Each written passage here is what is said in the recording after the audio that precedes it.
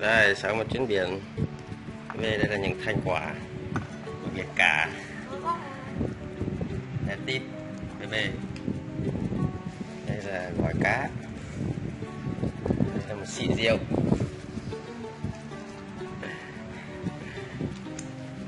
À, đến giờ ăn thôi.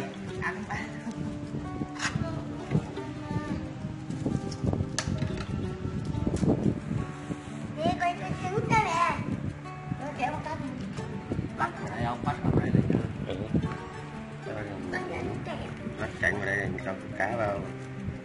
Nhúng vào cái chín là chấm cái này. Gói gói vào này kéo bố tẹo con lấy ra sushi đấy tẹo dưới gói cái gói cá đặc biệt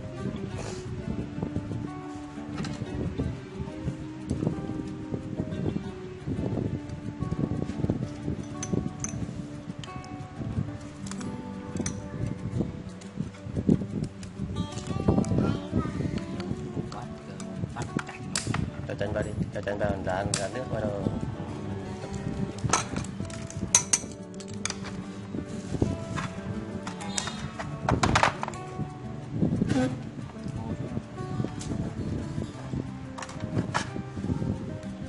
Và giỏi chưa?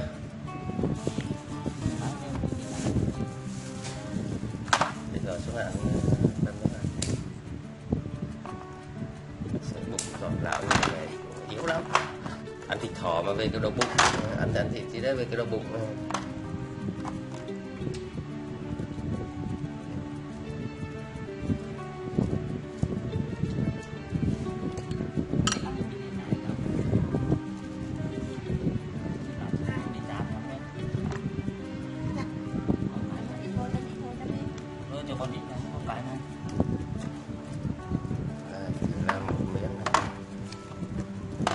Cạnh thôi.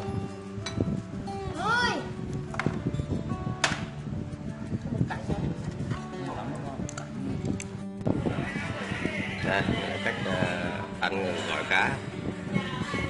Dân biển. Rồi là lấy rau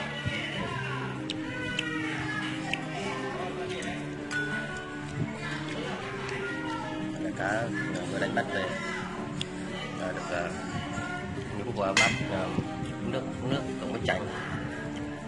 Để làm sạch. Ở đây là bát nước chấm bao gồm là tỏi ớt và một số gia vị đặc trưng. Cay đây đây là lạc rất bùi. Đây, bạn chúng ta sẽ thích một miếng gỏi cá đặc sản. À, cá. Dạ, đây là chén rượu để nó mới ngờ ngọt được đấy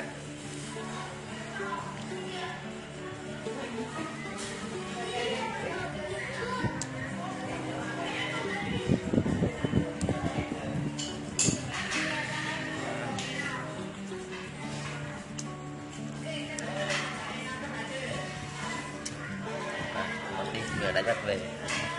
Ngọt. 你是哪